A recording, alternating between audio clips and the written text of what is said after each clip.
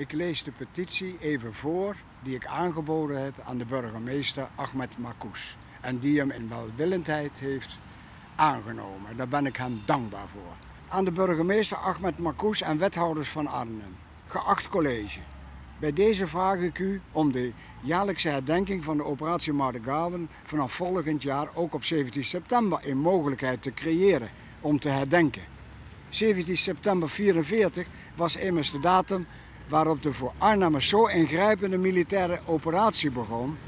Aangezien de herdenking altijd in het weekend wordt gehouden, wordt 17 september helaas meestal aan de aandacht onttrokken. Er zijn denk ik tal van manieren om een herdenking op 17 september vorm te geven. Te denken valt onder meer aan het hijsen van een speciale vlag, trompetgeschal of carillionklanken. Ik hoop dat mijn voorstel welwillend zult bekijken en wacht op uw antwoord af. Kind van Arnhem, G. Bijlsma. Ik ben rond 17 september benaderd door de heer Belsma. Die vraagt ieder jaar vraagt die aandacht ervoor dat er op uh, 17 september, uh, dan begint de slag om Arnhem, dat er uh, eigenlijk geen herdenking plaatsvindt. En daar bedoelt hij ook mee een symbolische herdenking. Dus bijvoorbeeld de kerkklokken of wat dan ook. Dat er in ieder geval even iets aandacht wordt besteed. Aan het feit dat 17 september de slag om Arnhem begon. En dat vond ik, vond ik een heel goed initiatief eigenlijk. Ik heb ook rondgevraagd bij heel veel Arnhemmers van... Hey, wisten jullie dat 17 september dat we eigenlijk niet, niet herdenken? Dat het altijd verplaatst wordt naar het weekend daarna. Om, en dat is op zich wel logisch, organisatorisch gezien. Maar dat vonden heel veel Arnhemmers die waren verbaasd. Die dachten echt van, huh, hoe kan dat dan? Inderdaad, 17 september begint de slag om Arnhem. Waarom doen we daar niet iets, iets voor, bijvoorbeeld de kerkklokken laten luiden of et cetera? En, en daardoor heb ik een motie ingediend, een voorstel ingediend in de gemeenteraad om dit te laten uitvoeren. En wat is de strekking van die motie? Om direct wat te plannen of om te onderzoeken of het nodig is? Ja, onderzoeken of het nodig is, uh, dat, dat hoeft van ons betreft niet. Wij vinden het toch wel mooi dat er iets op 17 september gebeurt. Dus uh, laten ze dan maar iets plannen. Bijvoorbeeld spreek met alle kerken af dat er om, uh, om twee uur alle kerkklokken gaan luiden.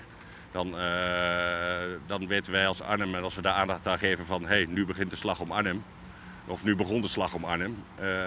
dus dat lijkt me symbolisch gezien echt heel, heel mooi. En ik denk dat de Arnhemmers daar ook wel behoefte aan hebben. Zover ik heb kunnen inschatten. Want ik heb aardig wat Arnhems gesproken na die tijd. En die zeiden allemaal van, huh, wat vreemd dat we dat niet doen. De aanleiding voor deze petitie is dat ik al jaren op 17 september op de binnenplaats van het gemeentehuis sta.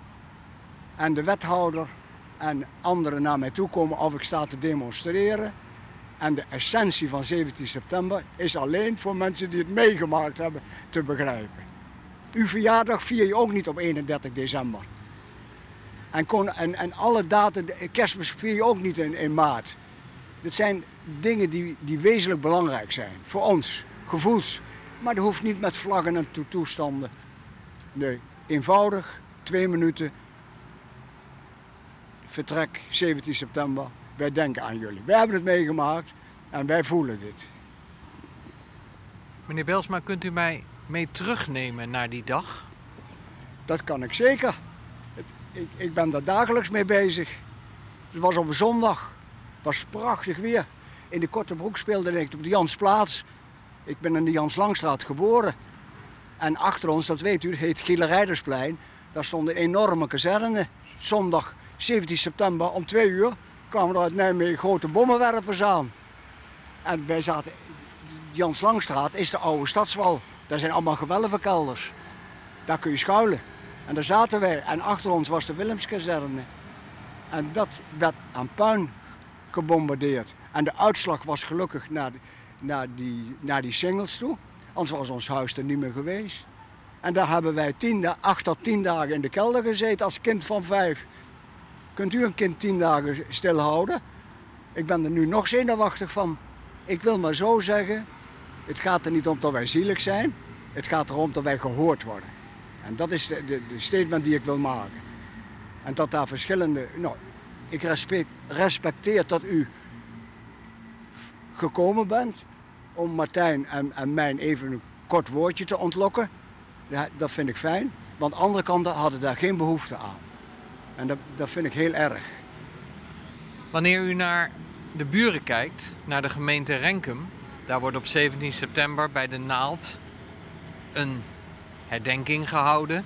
En vervolgens staat eigenlijk de hele dag in die gemeente in het teken van ge- en herdenken. Is het ook nodig om dat in Arnhem te doen? Nee, nee. Het gaat mij om een statement. Kort, krachtig, 1, 2, 3 minuten. Wat ik al zei, vlaghuis, trompetgeschal of een ander symbolisch iets. Het gaat om het symbool, die dag herkennen. Als u jarig bent morgen en uw vrouw of uw bekende zegt van wel gefeliciteerd, dan hoeft dat de hele dag verder niet meer gezegd te worden. Dan maak je een statement.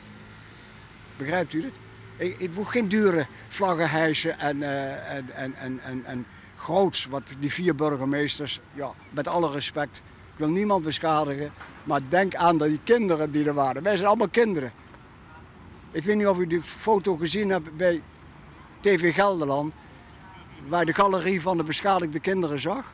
15 kinderen, allemaal kleine kopjes. Ja, en daar moeten we aan denken. Wij dragen dit mee tot de dag van vandaag. Ik sta hier elk jaar met mijn vlaggetje die ik achterlaat. Hij is, hij is nu weg. En da- da- dat is ons respect. Waarom, waarom loop ik er zo bij? Voor u of voor de krant? September is niet alleen in september. Het hele jaar zijn we ermee bezig. Is dat verhaal misschien ook onderbelicht in de verhalen die over de slag om Arnhem verteld worden aan de kinderen op scholen? Zeker, zeker. Ik heb hier in mijn rugzak, en dat mag u ook zien, gisteren nog in het Airborne Museum aan Pabo-leerlingen mijn verhaal gedaan. Twee klassen van twaalf eh, studenten. Nou, de- de- de- de- verwonderd keken ze op. Verwonderd. Dat ik dat zo naar voren kan halen. Waarom? Ik ben wel 80 hè, maar ik, ik voel geen 80. Ik ben kind van Arnhem. Ik- daar sta ik. Dat- Ik kan het niet anders vertellen. Die dag staat u nog zo helder voor de geest. En niet alleen die dag. Wat dacht u van die tien dagen in de kelder? Wat dacht u van die vijf dagen lopen als kind naar Nijkerkerveen? We hadden niet van die schoenen zoals tegenwoordig. Met spijkertjes erin waar ik last van had. Nee, je moet het echt eh, je moet het in, in de context zien. En eh, zolang het is willen wij dat, willen wij dat duiden. Het zou u gelukkig maken wanneer volgend jaar Arnhem stilstaat op 17 september. Eh, ik heb al gekeken op de agenda. Volgend jaar valt hij op een vrijdag, dus dan worden allemaal de festiviteiten meegenomen in het algehele gebeuren. Heb ik ook begrip voor. Mensen komen uit Amerika, uit Engeland, uit Frankrijk, Duitsland. Nou, die kun je niet op een dinsdag of een woensdag laten komen. Dat moet georganiseerd worden. Ik heb er volledig begrip voor. Maar dat wil niet zeggen dat je dat de 17e even moet vergeten, omdat het festiviteit in het weekend komt. Nee, dat kan er bij mij niet in. Dat kan er bij mij niet in. En daarom sta ik elke keer sta ik daar op die binnenplaats. Net zolang dat ze daar eh, gehoor aan geven. Het gaat om het begrip daarvoor, voor de Arnhemmers. Duizenden mensen nu nog in Arnhem. Van de week hadden wij een bijeenkomst in Apeldoorn over de vluchtelingen. En dat respecteer ik, dat ze dat... eh, ja. Maar goed, we zijn op weg en we hebben een petitie ingediend. En ik heb het volste vertrouwen in meneer Marcoes dat hij als hoofd van de raad dat heus wel eh, kan zetten. Kan hij heus wel eh, op zijn plek zetten.